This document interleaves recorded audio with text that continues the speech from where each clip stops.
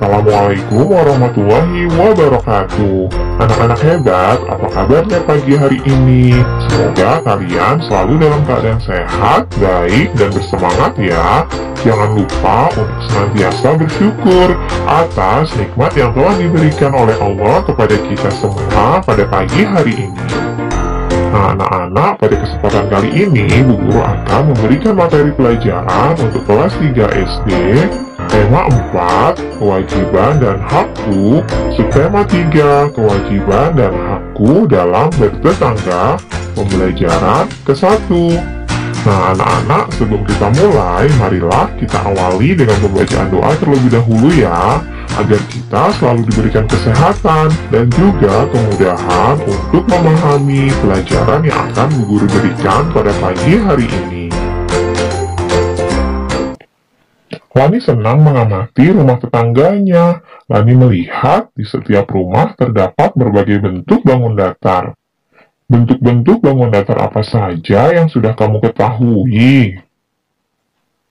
Amati ya bentuk bangun datar di bawah ini. Lalu warnailah dengan warna merah, kuning, hijau, dan biru. Kalian bisa gunakan pensil warna, atau kalian juga bisa gunakan krayon.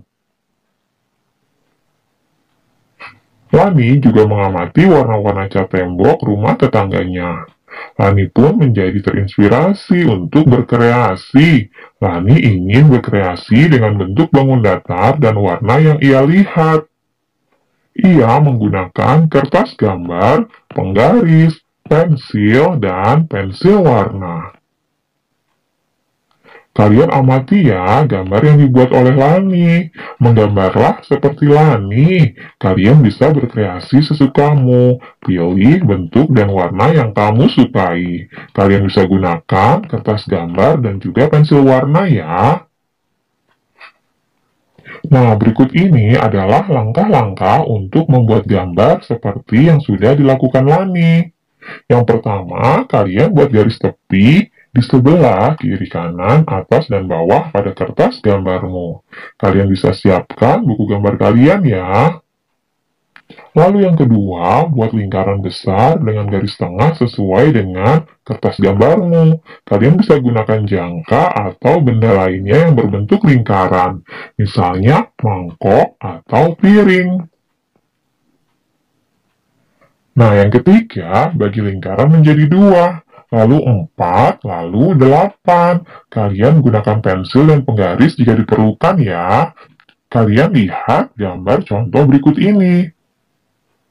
Kemudian yang keempat, bagi lingkaran menjadi 16. Kalian tinggal tarik garis saja ya. Kemudian buat garis di ujung lingkaran seperti pada gambar di samping. Jadi, ujung-ujung lingkaran tersebut kalian bentuk seperti segitiga ya. Yang kelima, kalian warnai gambar dengan warna kesukaanmu.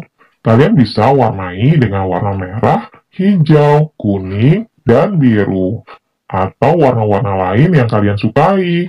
Nah, jika sudah jadi, kalian bisa foto hasil kreasimu itu lalu kirim ke bapak ibu guru kalian masing-masing ya.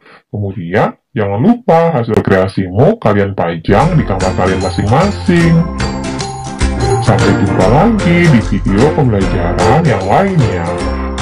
Nah, salam sehat dan selalu bersemangat ya. Wassalamualaikum warahmatullahi wabarakatuh.